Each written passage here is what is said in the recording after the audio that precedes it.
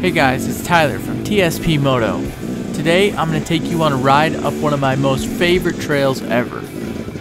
It's a tight, rocky single track that follows a drainage all the way up to the top of the ridge. It starts out fairly flat, but it takes me back and forth across the water. Eventually, it gets steeper with lots of rocks and tree roots. Hopefully, you'll see why this is one of my favorite trails, and I hope you like it too. So sit back and enjoy the ride.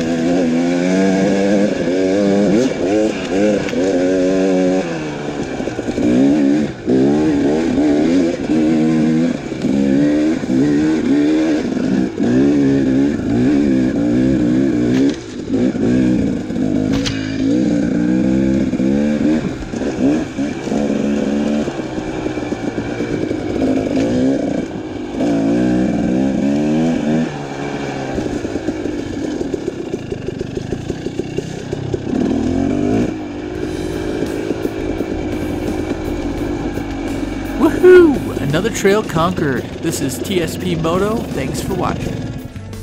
Oh, what a ride.